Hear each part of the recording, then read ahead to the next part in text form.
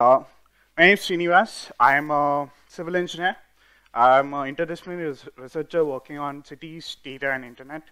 I was primarily at this lab, which was funded by Ministry of Urban Development a while ago, called the Intelligent Transportation Systems Lab at IIT Madras.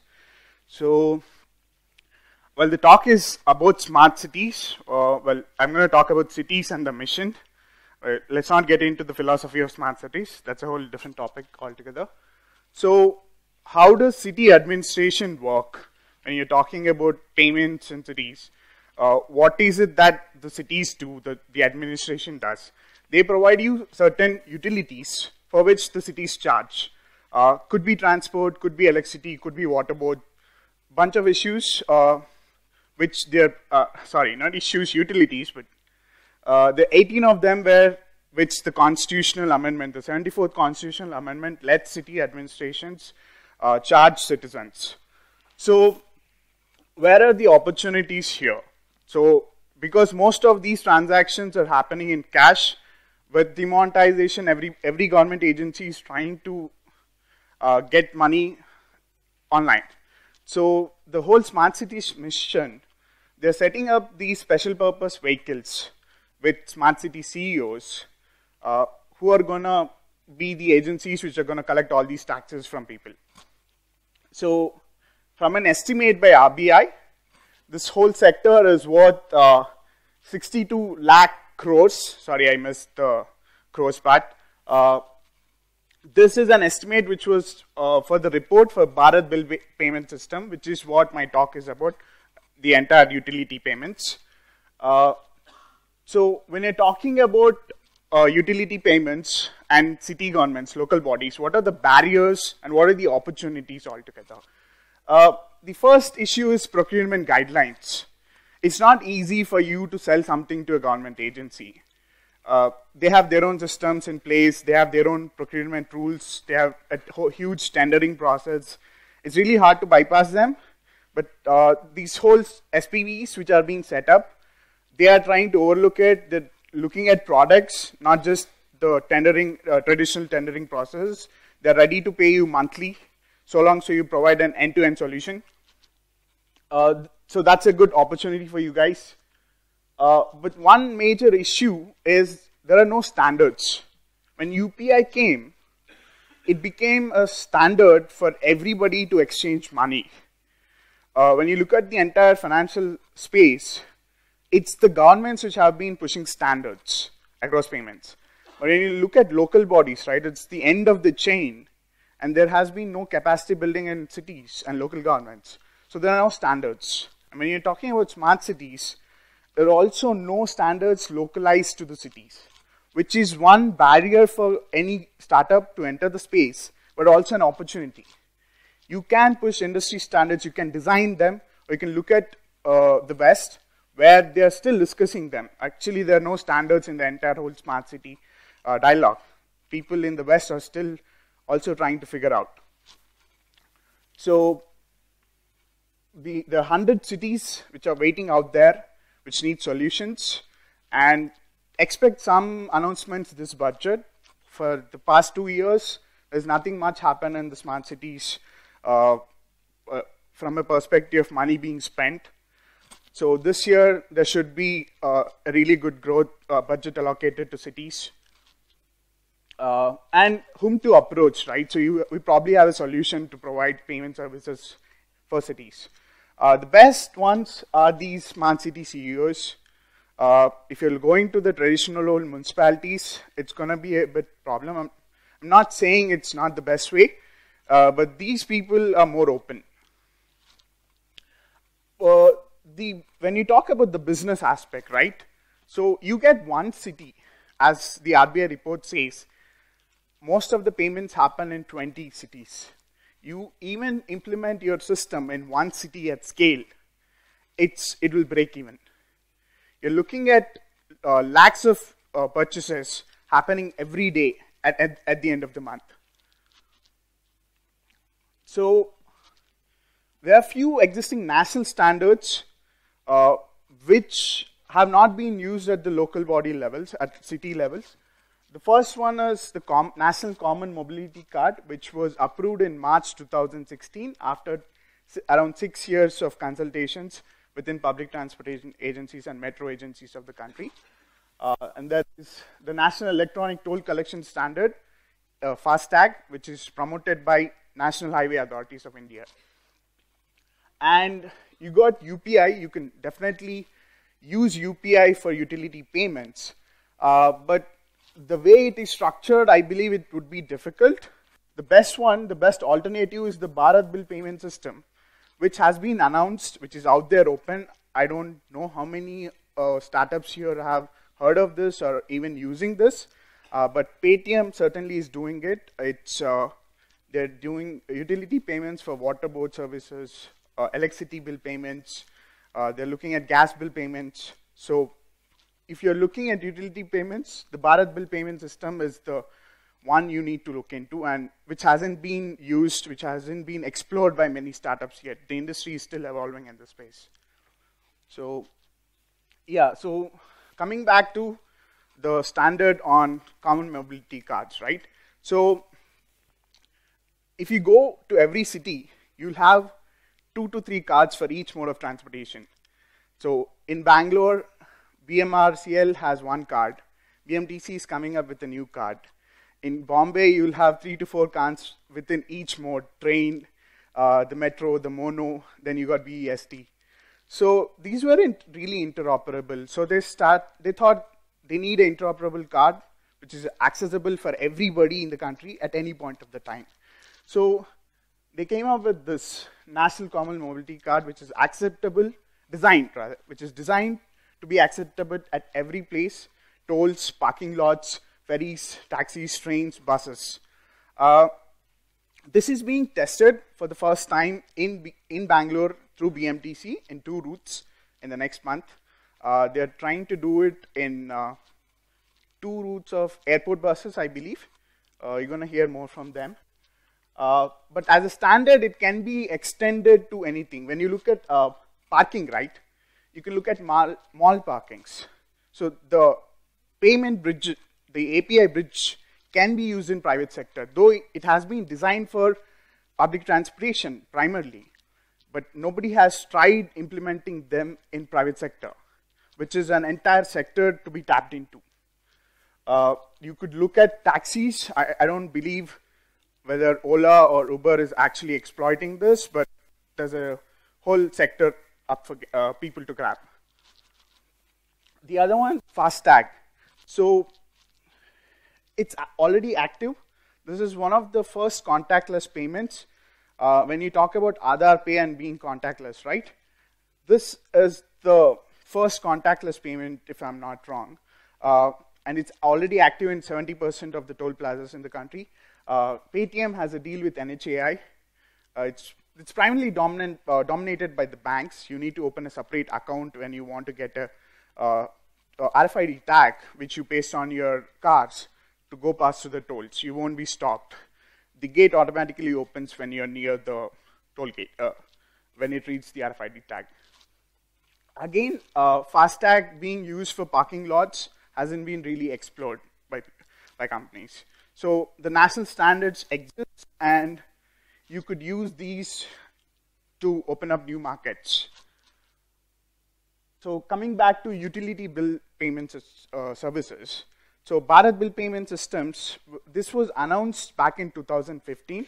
A report was published on the entire idea of how it's going to be utilized for utility bill payments. Uh, again, N NPCI is going to be the central unit which is going to monitor it. But you're going to have uh, non-banking entities and banking entities, which will be uh, uh, other processing units under whom you'll have agents. The entire idea of Bharat Bill Payment Systems comes from eSeva, which was introduced in Hyderabad back in 2007. If you're not familiar with this, these were government-sponsored centers where you could walk in with your bill. You can uh, pay the bill with the extra 10 rupee service tax. So back in 2001, when the internet wasn't really available, they explored of providing these civic centers where you could just walk and pay the bill. Now this is just going online. So again, the bunch of avenues where you can explore this. Uh, what are the business models and opportunities? When you're talking about governments and businesses, right? Uh, it's, pri- it's primarily a partnership. You have something called the public-private partnerships, uh, where you take a cut. The, the local bodies do not have the money to give you some money upfront. So what you do is you charge extra 10 rupees on every utility payment. If you're talking about water bill, charge a 10, 10 bucks for processing fee. So it's usually a partnership. Uh, the things which you can explore is the people-public-private partnership. That is something which the Prime Minister had a vision where you're going to involve local people. So this is something which needs to be explored as a business model. I don't believe any company is doing this in India yet. Uh, and you have all the traditional old uh, methods of being a B2B service or a B2G service. But there are opportunities for consumer uh, for you to develop products for consumers. So I'm going to show some of those examples. So there's this app called Get My Parking, which basically uh, lets you book a parking slot, and it's a product. So they're trying to use FASTag or uh, NCMC to actually give, uh, let you pay for your parking beforehand, and they're also providing the services for cities as a service. And you also have this app called Ridlr, which lets you book a bus ticket for a public transport in Bombay for BEST, for Mumbai Metro, as well as Navi Mumbai Transport. Bombay has around eight transport agencies just within the city. So there are product startups which are coming up, but from a services point of view, you can look at traffic offense collection, and you can even potentially look at uh, congestion pricing, which hasn't really been explored. So when you look at traffic offense collection, again, cities need end-to-end solution.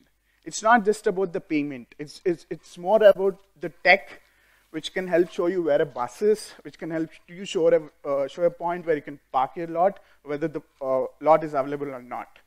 So the market is pretty new. It's evolving, and there's a there's a whole lot of money to be made, standards to be made, uh, but I, I see no one pushing it. I think Pay, Paytm is going to try pushing things soon on uh, Bharat Pay, but I believe there is a lot of scope for other startups to innovate in the entire sector. This is a whole sector which needs to be exploited, and yeah, that's pretty much it. If you have any questions,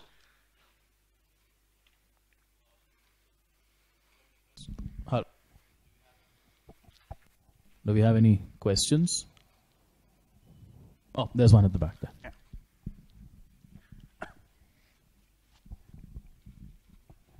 Uh, is there any place where you can find this uh, current open data initiatives, either state or national? So, uh, you see this startup, right, Ridlr? So, they use uh, bus data to tell you where the bus is. They actually crowdsource it. So when you're looking at data to build products, right, you need data of bill payments. You need uh, to provide a service for a consumer to know what his bill is before he can pay. Governments are not going to share the data right away to you. The best method is crowdsourcing and generating yourself. But there are few cities which are trying to explore open data policies where they're trying to give out this data. Surat, Pune, and Hyderabad, the Telangana government, have three policies right now where they're sharing the data. So you can approach them through this. Do we have any other questions? Oh, yeah. Oh, yeah. Oh, yes, the model. So when you're talking about people-public-private partnership, right? Uh, so you, crowdsourcing. So I believe in some sense they are also doing this. They're generating data of where the bus is because the bus agency has no GPS units on their network. They are involving people into a business aspect. They're making money by selling tickets to the people, but they're also taking their own data to provide the city as a service uh, of where the buses are.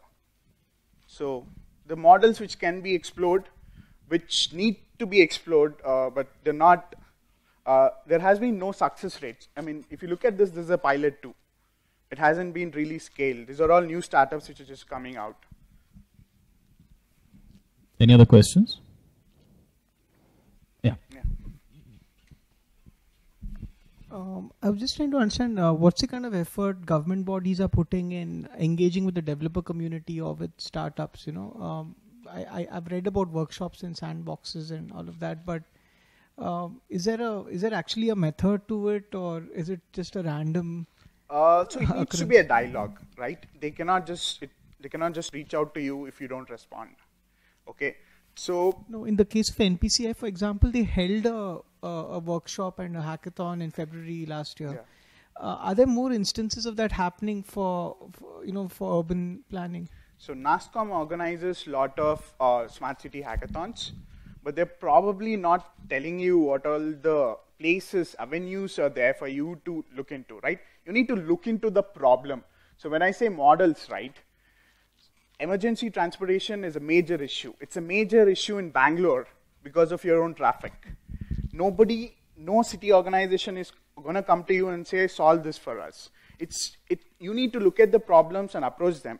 They are doing their part of listening to you at these places and these avenues.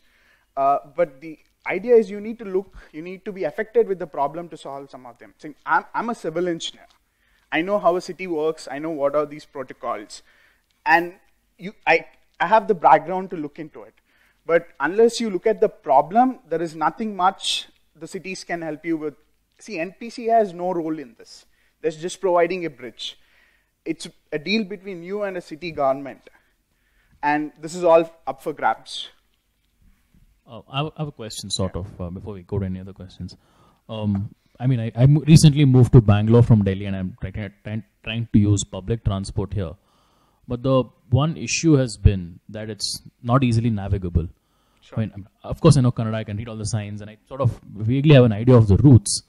Uh, do you think there's scope for um, city government, I mean, say something like BMTC, to tie up with the developer to prepare to create something like a an Uber for buses, so that you know which is the nearest bus coming, when is it coming? Because one issue that, at least for me, the three or four times that I had to use it, Uh, as the timetable says bus is coming in two minutes, but ten minutes later there's no trace of a bus. Sure. So, is there a way for like you know cities to collaborate with the developer and say, here we're going to come up with an app where not only do you know when the bus is, but we'll tell you exactly like something like what Ridlr is doing. Yeah.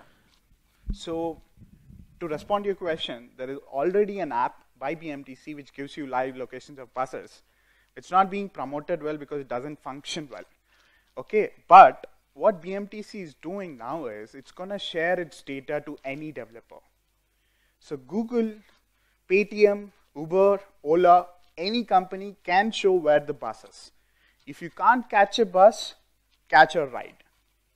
Okay, so the data is going to come out sometime next month uh, when they are implementing the National Common Mobility Card. They already have a policy up in place, so you can definitely do that. You can build your own hacks. You can build apps with your watch, apps in your terminal. So the data is up for grabs. Do we have do we have any last questions? No? Okay. Uh, thank you, Srinivas. Please give him a round of applause.